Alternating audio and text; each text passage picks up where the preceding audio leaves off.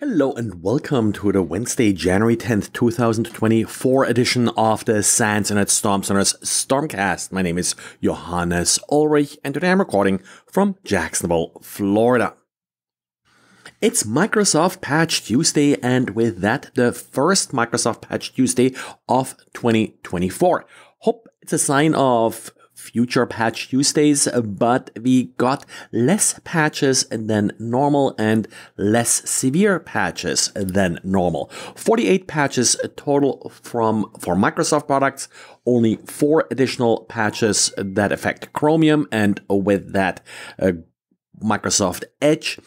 Also, one open source vulnerability being patched here, the Stranger Strings SQLite vulnerability. That vulnerability actually sort of became known in 2022, but none of the vulnerabilities that were patched today were disclosed prior to the patch being released or exploited prior to today.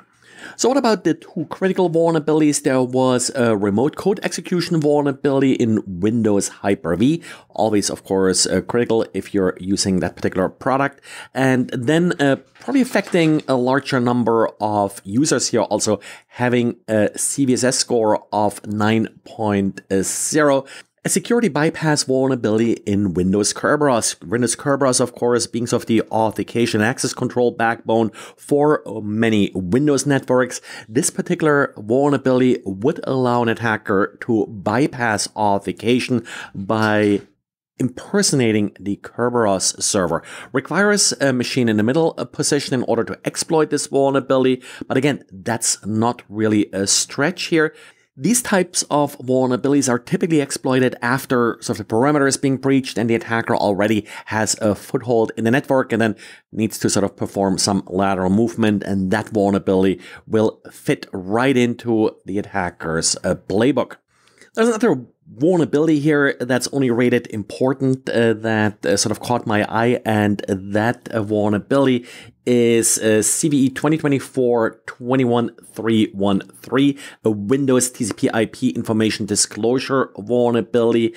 According to Microsoft's summary here about this vulnerability, this vulnerability may enable an attacker, again with a machine in the middle position, to gain access to unencrypted content in an IPsec packet.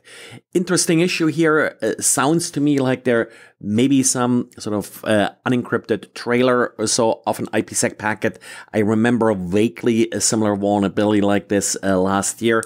We'll uh, see if there's any more detail coming about this in the future.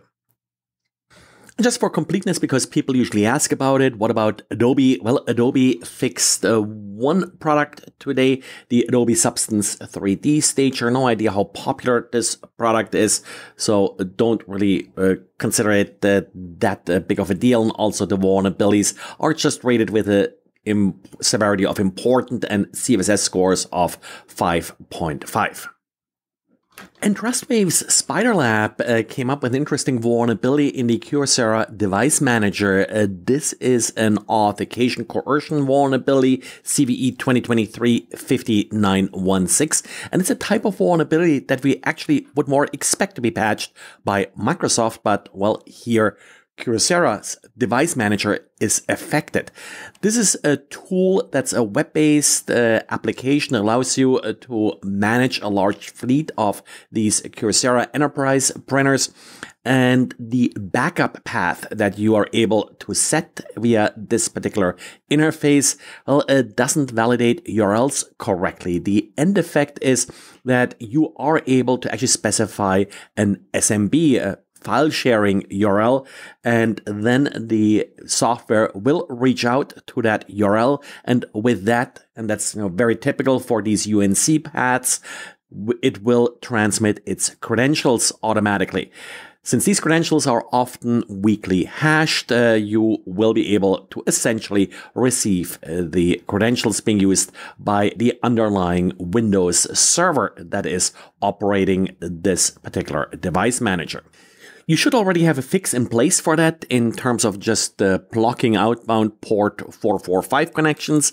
But of course, this could also be exploited internal in your network, well, uh, definitely also make sure that you do restrict NTLM, the weak hashing that's often being exploited here, and then patch the Kyocera device manager. And talking about odd things connected to networks, who would have thought that wrenches uh, that are used to tighten and loosen nuts are being connected to networks? Apparently, that is a thing.